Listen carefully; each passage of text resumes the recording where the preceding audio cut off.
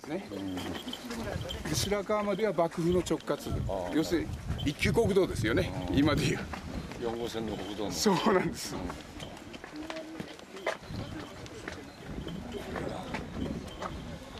ごいで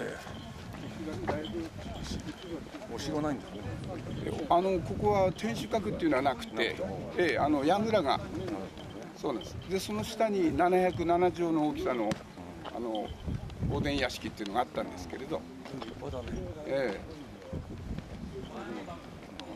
ここはあの北の抑えのためのお城なので。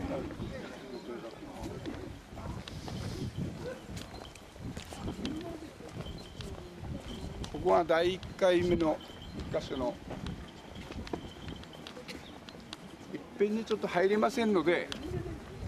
ここでじゃあちょっとあの白川城という県外に対して言ってみますけどあの県内では小峰城と言ってます。っていうのは白川城というと2つあるんです。中世の白川城と江戸時代の白川城2つあるんでこちら小峰城というふうにお話をしています。でこれはあの代々あの庭の長重から最後の阿炎まで7家21代にかかかってずっとこう治めてたお城なんですね。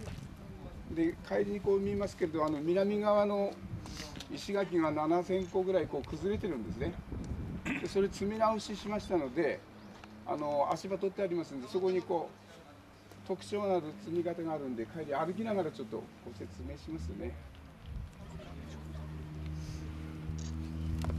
あとここはあの中町というところ大手門にあったあの礎石の跡なんですね。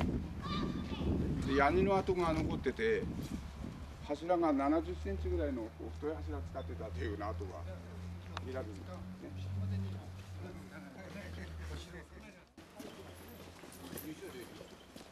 ここの左側の日が芭蕉の日ですね。えー、村尾花ということで、あ、ホトトギス、招き深麦の村尾花とこういうふうに書いてあるんですけれども。まあ、説明とかは、あの、この区碑に書いてる通りなんですが。白川市の方に寄付をしていただいたので、ここに残っています。で、こちらはあの白川を最初治めた結城家の文書、古文書とかがあって。こっちは安倍家のあの白川の流れが大体わかるようになっております。じゃあ、それでは次の場所へ。があって、千と四十四名が亡くなった。旗が立ってるそうですね。はい。はい。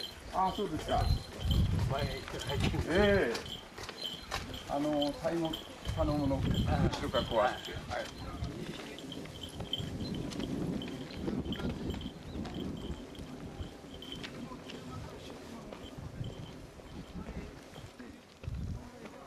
この辺こあのこの辺からはあの審判台の要するに親戚筋とか身内になってますね。で有名なのは久松松平のあの佐渡の方ですね。今でいう首相までやった人ですね。この方いろんな営業をの残してますけれども、あとここにある石垣ちょっと正面まで見てみてください。ですか。これがあの特徴のある反動深淵落とし積みという積み方なんです。でこれ国のあの指定を受けてまして今までなんでこう2年も3年もかかってこう積んだのかというとあの番号売ってありますねタグあれをあの昔撮った写真と合わせながら積んだので今までかかってしまったということですで来来春桜祭りまでの中までお城の中入って櫓まで上がるようになりますけどとりあえずここだけはあの来春まで間に合わせようと。であと7年ぐらいかかるんです大体 2, キ2キロぐらいあるんですずーっと石垣が。それなのでちょっとお時間かかるどうぞ。までにやってたんですね。であの中がちょっと耳を一本も使わないでこう組んである。変わった。昔の当時の